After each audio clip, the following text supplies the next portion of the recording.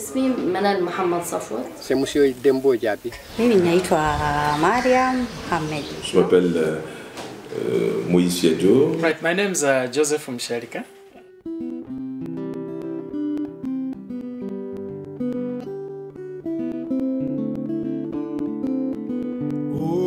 I began a company called Mucha Agribusiness. Yo, Je suis médecin, gynécologue obstétricien de mon état.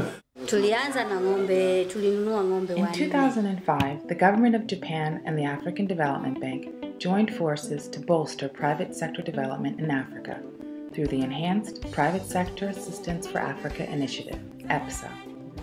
The result of their targeted assistance is not only improved businesses and an improved business environment, but more importantly, improved lives. In the past, Zambia was very self-sufficient in cooking oil. And at that time, we had a company called Refined Oil Products 1975, which used to promote production of sunflower and would process that sunflower into local cooking oil. So I decided at that time to consider sunflower production. And so we decided that we were going to do an outgrower project where we would make a contribution to the farmers' production process of sunflower. And so the very first thing we thought about was uh, people need knowledge. Uh, we we're not looking for farmers who just plant sunflower and uh, wait for it to be ready. We're looking for farmers who look at sunflower production as a business. So we decided that we were going to do training. I think that training really underscored the importance of having core business in your mind as you do things. The economic growth equation also encompasses the development of infrastructure that facilitates commerce.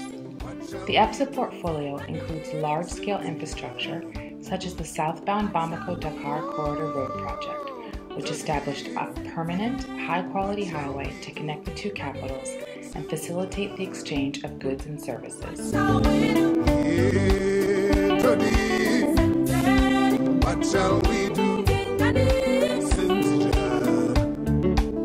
They funded uh, one, one million uh, I have started a project. And these houses will be complete. I'll lend to, to people. They, they, they- I'll get money to pay back the, the, the loan. And the, uh, when I finish the loan, I'll be okay. We now have uh, um, credit insurance coverage on the SME clients. It enables us to, to expand that business um, with far greater uh, structure.